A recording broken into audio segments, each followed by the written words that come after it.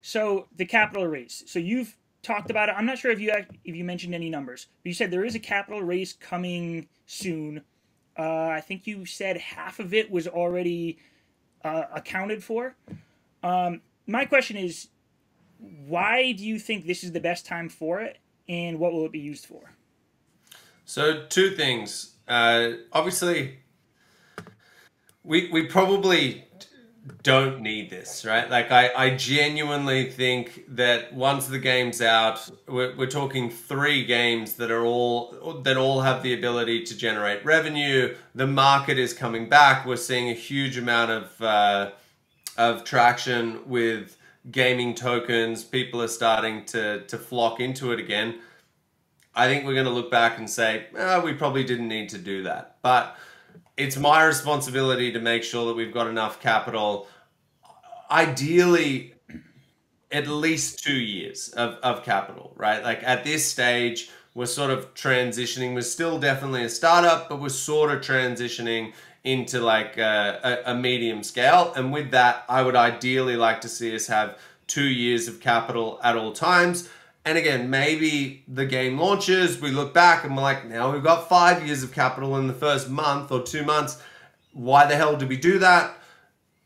It doesn't really matter because if that situation occurs, the tokenomics are such a way that will be the DAO will be buying back so much ILV that will fill whatever we sold will fill that gap so quickly that it's like it, it doesn't matter either way. What would be the situation which you can't control is if something catastrophic happened in the market or whatever, and we needed that two years of runway. And so uh, it's it's basically uh, a way for us to to shore ourselves up. It'll make me feel better, make all, all, all the people in the team feel better.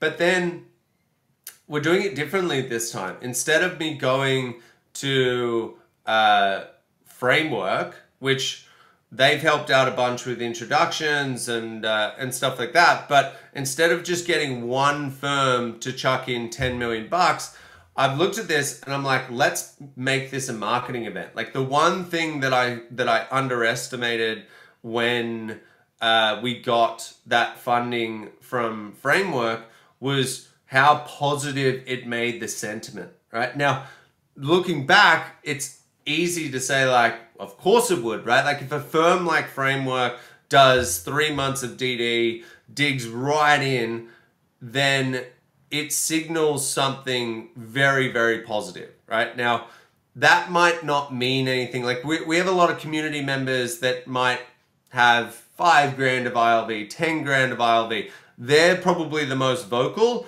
and they were the ones who came out and said like oh this is ridiculous you know like they, they sold the token so cheap and whatever.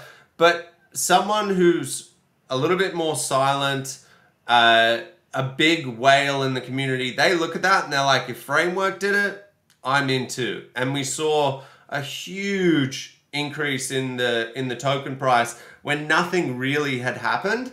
And so i'm looking at that and and obviously there's the network effects of uh, having a firm like Framework double down on you. They, they have a huge network themselves.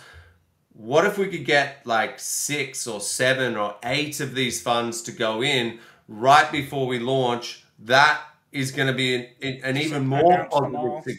Yeah, and so uh, you know, I think again, what I'm looking for there is to to have all of these uh, these sort of silent whales that we have in our community to look at that and go, all right, now they're not, you know, they're they're going to be here for another two years.